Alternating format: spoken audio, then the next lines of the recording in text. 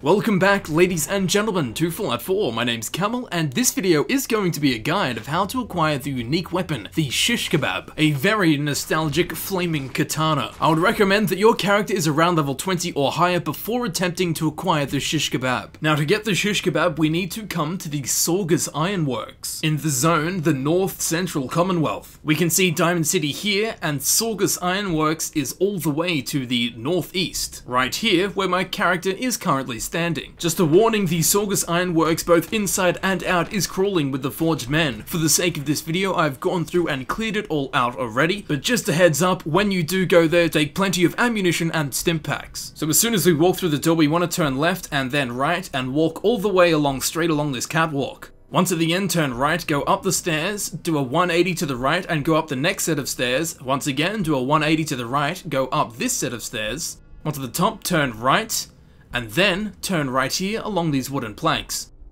Just be cautious, the planks can fall down and your character with them. Keep going straight, head all the way over to the wall and turn left, head straight ahead. Walk down these stairs, once at the bottom, turn left, go straight ahead, then turn right.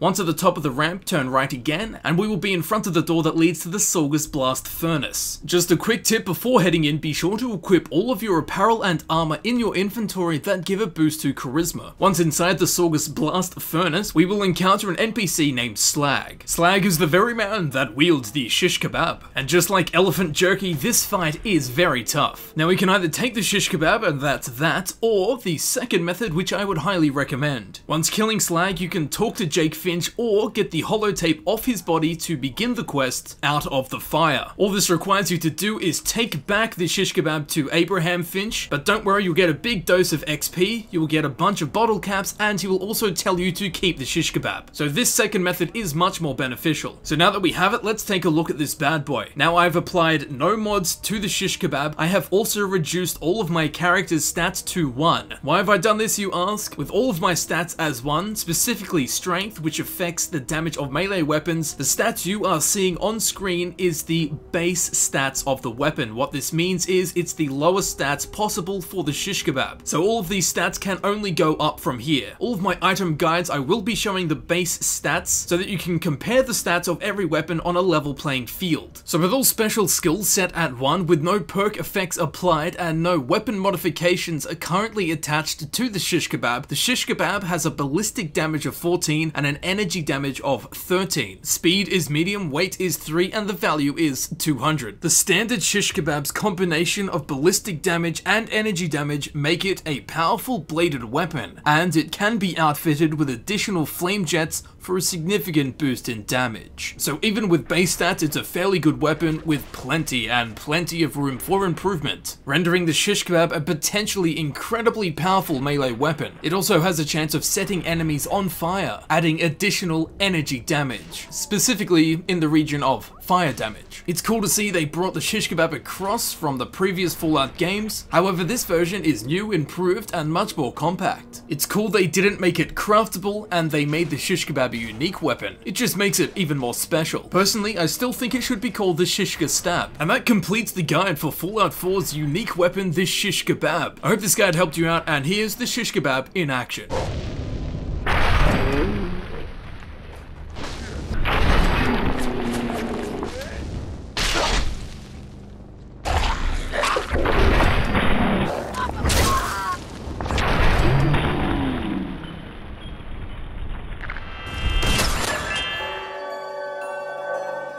I've been Camel, I would like to thank you very much for watching. If you would like to see other Fallout 4 guides, feel free to click the playlist button on screen. That will take you directly to the Fallout 4 guides playlist where you can browse at your will or you can check in the description where it will be frequently updated with links to my new Fallout 4 video guides. Once again, thank you very much for watching and I will see you very shortly in the next video. I'll see you there.